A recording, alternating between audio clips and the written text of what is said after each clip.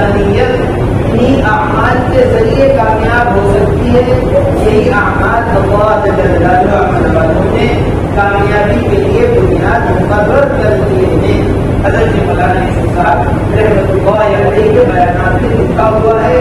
بڑی عمدہ مثال دیا کرتے تھے بڑی عمدہ مثال۔ یہ بتایا کرتے تھے کہ جس طرح بادشاہ کے دنیا میں آنے کا راستہ ایک ہے، فقیر کے دنیا میں آنے کا راستہ بھی کوئی ہے۔ اس طرح بادشاہ کے دنیا سے جانے کا راستہ موت ہے، فقیر کے دنیا سے جانے کا راستہ بھی موت ہے۔ جس طرح بادشاہ دنیا میں آتا ہے ماں کے پیٹ سے، فقیر بھی ماں کے پیٹ سے نکل کر آتا ہے۔ امیر ہو یا غریب ہو، فقیر ہو یا وزیر ہو، بادشاہ ہو یا عام آدمی ہو، ہر ایک کے دنیا میں آنے اور دنیا سے جانے کا راستہ سا حضرت کروایا کرتے تھے، اسی طرح حل اور موت کے درمیان کی زندگی میں کامیابی حاصل کرنے والے اعمال کی سب کے لیے برابر ہے بڑی سمجھنے کی سب کے لیے برابر۔ ایسا نہیں ہے کہ بادشاہ کسی اور راستے سے کامیابی حاصل کرے گا، فقیر کسی دوسرے راستے سے کامیابی حاصل کرے گا۔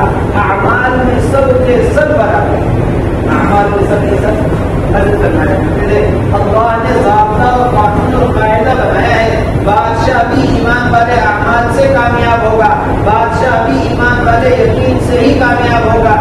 ایک فقیر اور غریب بھی انہیں اعمال سے اسی ایمان اور ایمان والے یقین سے کامیاب ہوگا۔ حضرت مولانا بڑی عمدہ مثال دیا کرتے تھے، بڑی عمدہ بات کرنا کرتے تھے، یہ بتایا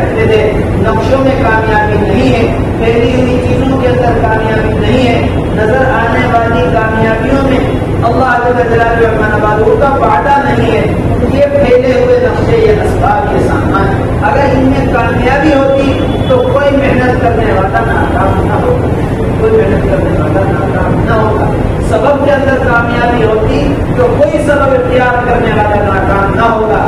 دواؤں میں شفا ہوتی تو کوئی ڈاکٹر کے ہاتھ سے بیمار بچ کر نکل نہیں سکتا تھا۔ کوئی ڈاکٹر کے پاس موجود ہوتے ہوئے دنیا سے جا نہیں سکتا تھا۔ اگر دوا کسی کو زندگی دیتی اگر علاج کسی کو زندگی دیتی یہ بتائے کرتے ہیں ہمارے حضرت، کہ یہ اسباب ایمان والوں کے امتحان کے لیے ہیں۔ کہ اسباب اختیار کرتے ہوئے ایمان والا سبب پر یقین کرتا ہے یہ تو بہت ہی زیادہ حضرت مولانا صاحب نعرے فرمائے بڑی عمدہ بات بڑی نیک کی بات۔ یہ فرمایا کرتے تھے کہ اگر حکومت میں کامیابی ہوتی تو فرعون کبھی ناکام نہ ہوتا۔ اگر وزارت میں کامیابی ہوتی تو حامان کبھی ناکام نہ ہوتا۔ اگر مالداری میں کامیابی ہوتی تو قارون کبھی ناکام نہ ہوتا۔ اور اگر ان کو ہاتھ میں بنانے میں بڑی بڑی بلڈنگیں عمارت کھڑی کرنے میں اور محلے بسانے میں، بڑے بڑے شہر آباد کرنے میں کامیابی ہوتی تو شداد کبھی کا کام